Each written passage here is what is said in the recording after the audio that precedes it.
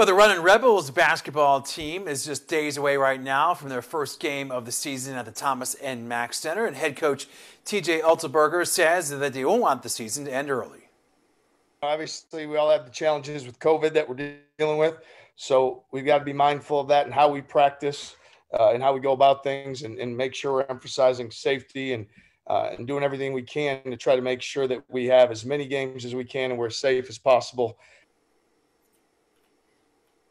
all right, so the first game is going to be Wednesday against Montana State, though fans are not allowed in the stands.